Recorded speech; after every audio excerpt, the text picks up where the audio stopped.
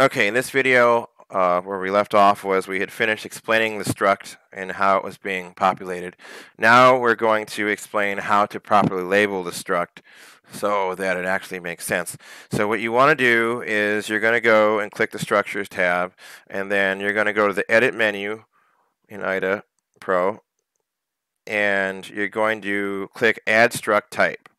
And we're going to call this Person and then you're going to hit OK. Now, what's interesting is IDA Pro, at least the newest version here, it recognized this that I had a person struct here somehow from the source code or from um, some data in memory. And It actually populated it for me, but assuming it didn't do this, I'm going to show you how to do it anyway. So I'm going to just define another structure, and then you can see sort of how this is done. So what you're going to do is you're going to you're going to do add struct type, and we're just going to call ours struct2 so that it doesn't do that.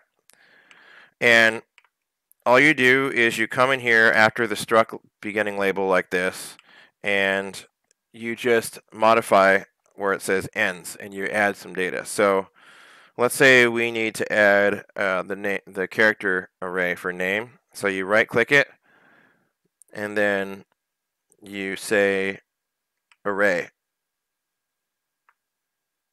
And then you say array size 50. Items on a line. I'm just going to leave it like that. Like that. And then what you can do is you can, where it says field zero, you can hit N and write in their name. So see how that, we basically just recreated what the IDA Pro already did. Now what you're going to do is for the next slot, you're going to add in age, which is an integer. So this is actually even easier. All you do is you hit the D key on the keyboard with that line selected. And we're going to move that to DD for age. And then we're going to name it age.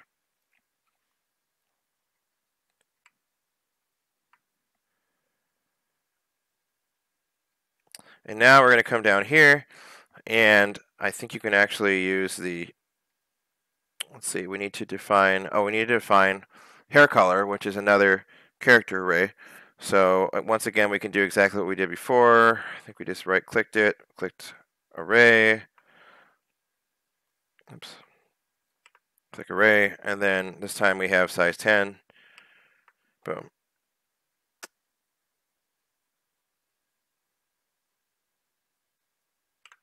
So that's it. So we've now created our own struct that we can now reference inside of the program in this assembly. So we can name this like test or something like that. And there's other options too, as you saw. So let's say we want to change some stuff. We can actually go and we could actually, let's say I wanted to add one more. I'll do that one more time. And we can see what the other options really do.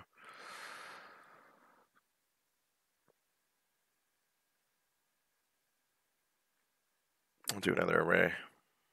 So you have sign elements, display indexes, and then indexes are decimal, hexadecimal, octal. But that's how I've just used it is by default like that. So we define our own struct. So now in order to use the struct, you just go over here, and this is the part where it gets kind of tricky because it's like, where do you actually try to define this at all? So we know we have to look at where the struct gets loaded. We know that the struct's getting loaded here because this is right after the call to malloc, and that's where the actual memory is that's going to be used to store the struct.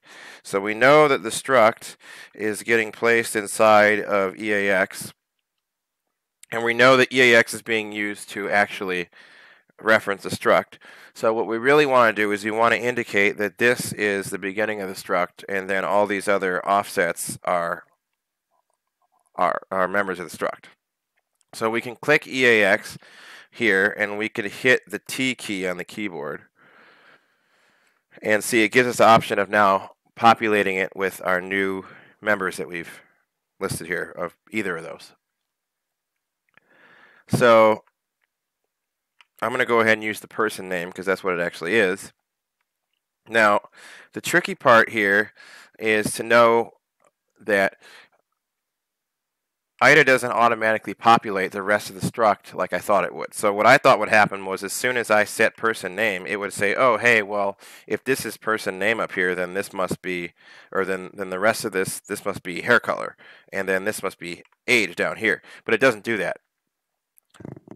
Excuse me. You actually have to manually label it all yourself. And then at, at that point, from that from that point on, IDA should pick it up. So this is actually still person name, so you could go here and hit T on that, and then go here and hit T on that, pick name. Now, this part looks a little bit tricky. We're not going to label that, but instead, we're going to label here, hit T,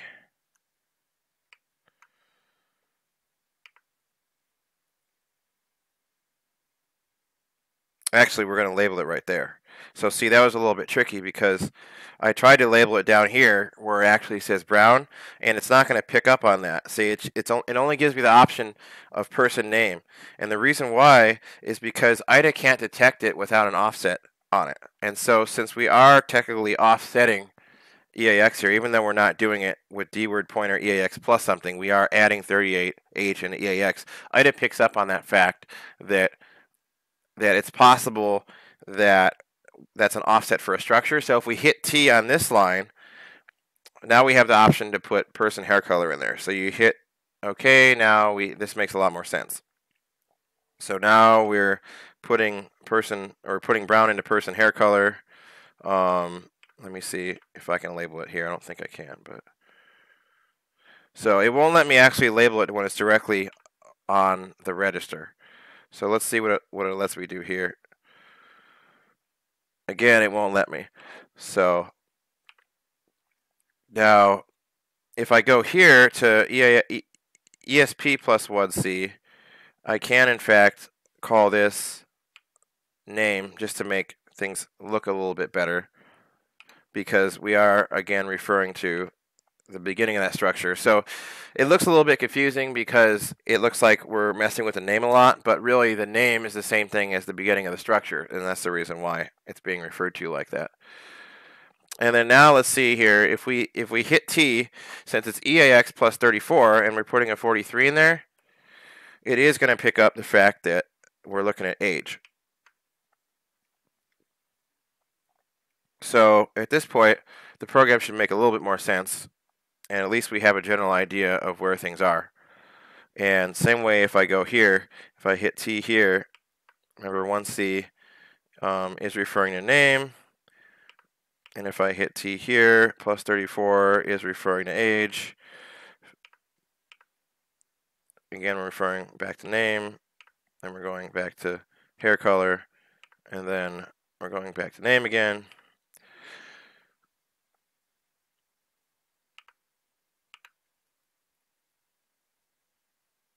And then we're going so so yeah this would not be part of the our struct because this is a different area in memory. So that's how you can label a structure inside of IDA manually, a C-style structure. It is useful for you to keep track of when you're reverse engineering, but as you can see, it's not an immediately apparent and automatic thing. You have to actually go and do it unless IDA automatically detects it.